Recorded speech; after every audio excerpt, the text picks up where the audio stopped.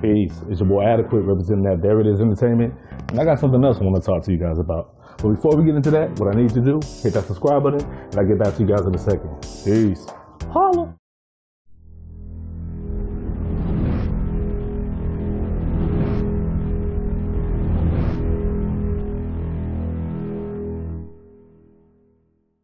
What I want to talk to you guys about today is walking while chewing gum. Yep, walking while chewing gum.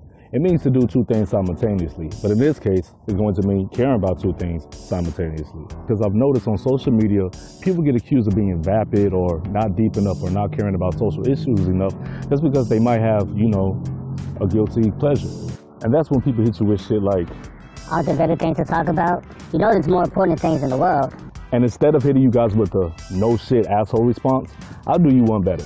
No shit. There's a plethora of other better things to talk about. Why even ask such a condescending question? Instead of trying to condescend, you may want to realize topics that are up for discussion on a scale of what's important and what's not important is all subjective. Oh shit. I lied. I went with the asshole response, didn't I? And my point is this. I'm pretty sure that we're all very well aware of some of the tragedies that are going on in the world. From homelessness to starvation, social inequality, racial injustice, etc., etc., etc. Which are all important and they should be discussed. But give me a fucking break. Can I enjoy my guilty pleasures in peace? And I get it. The internet and social media is filled with people talking shit about nothing all fucking day. And it's annoying to me too. But you know what I do? I put on my adult pants, like these right here, and I just keep scrolling until I find something that I'm interested in and that I like. And I agree, everything's not important to talk about. I mean, we live in a society where we take entertainment a little bit too serious. But sometimes it's nice to turn off your brain and just relax, you know, and not really have a care in the world. And I think that's all people are doing. I think it's pretty harmless in the long run. And to think that people can't care about world issues and frivolous things at the same time is very dishonest, and it's unfair to accuse someone of that. I kind of look at it like I look at music. For instance, when I'm at a club, I like to listen to party music.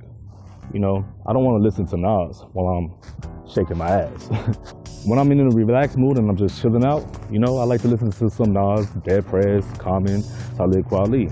Music that sets the mood depending on where I'm at. Same way of thinking applies in this too. Because I don't want to think about depressing things all the time. Sometimes I just want to chill, relax, and have a good time and laugh at things that don't really matter at all. It's kind of like human beings are complicated specimens.